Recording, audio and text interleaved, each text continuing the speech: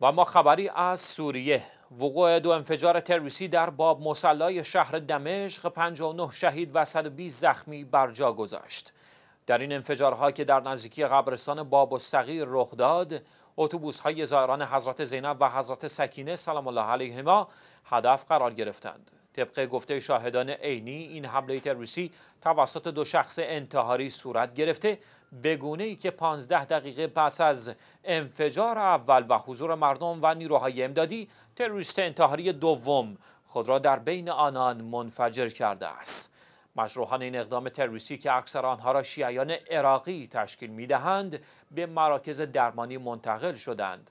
ولی به علت وخامت اوضاع آنها احتمالاً بر تعداد شهدا افزوده خواهد شد. پس از این انفجارها نیروهای سوری با ایجاد یک حلقه امنیتی بزرگ در اطراف محل حادثه توانستند یک موتورسیکلت بمبگذاری شده را نیز کشف و خونسا کنند.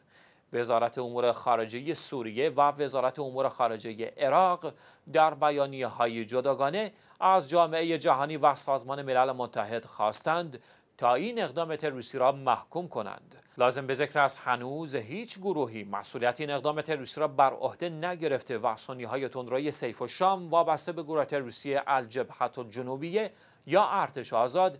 کمی پس از آنکته بیانیه‌ای مسئولیت این اقدام تروریستی را بر عهده گرفتن آن را تکذیب کردند. الجبهت الجنوبیه از بزرگترین گروه های تروریستی فعال در جنوب سوریه به شمار می رود که هسته های متشکل از سنی های تندروی وابسته به این گروه در درعا، السویدا، قنیوتره و دمشق فعال هستند.